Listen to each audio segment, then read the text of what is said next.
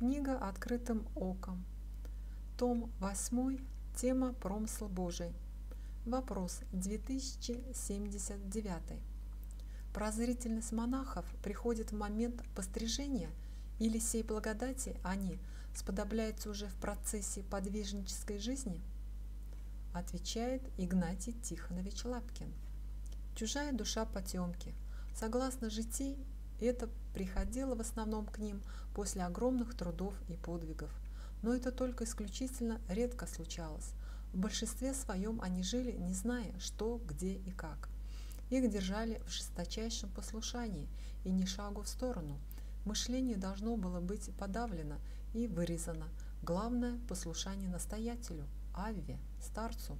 Послушание самое несуразное, но только бы оно было беспрекословное и полное, абсолютное и благодарное послушание. Нет той меры отшибленности мозгов, которая выпестовывала при этом безмозглом послушании. Нельзя было сравнить данное задание, указание, сходится ли оно с Писанием. Эта крамола выжигалась епитимиями, пахомия, страхами митрополита Ионы, карающего смертью за малейшее нарушение его воли. Если вам выставить в ряд все, что проистекало отсюда, от этого безумного послушания, то тут, то тут уж не о прозорливости говорить, а о том, чтобы совершенно не свихнуться.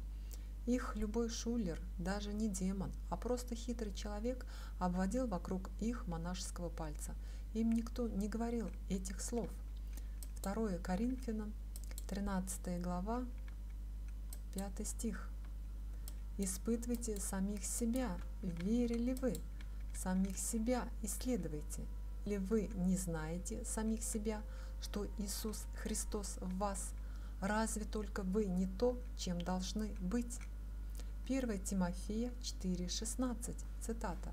«Вникай в себя и в учение, занимайся сим постоянно, ибо так поступая, и себя спасешь, и слушающих тебя».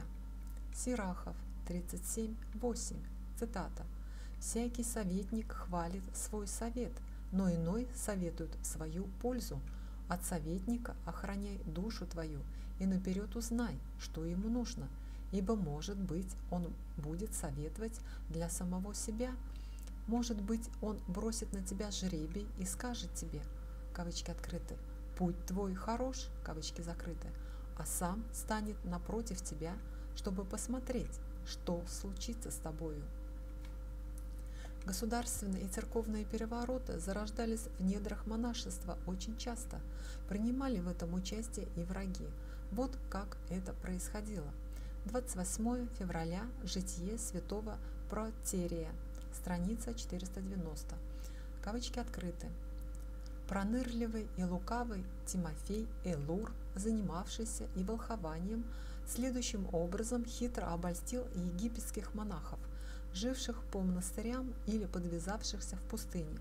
В темную, безлунную ночь Тимофей, одевшись в темную одежду, стал обходить кели иноков и каждого называл по имени. Когда иноки спрашивали его, кто он и чего ему нужно, он отвечал, кавычки открыты, «Я один из ангелов, послан от Бога, чтобы вы не имели общения с протерием, патриархом, и не, приняли, и не принимали бы постановлений Халкидонского собора. Епископом в Александрии вы должны поставить Тимофея Элура, кавычки закрыты. Так хитрый льстец при помощи демона при, прельстил их.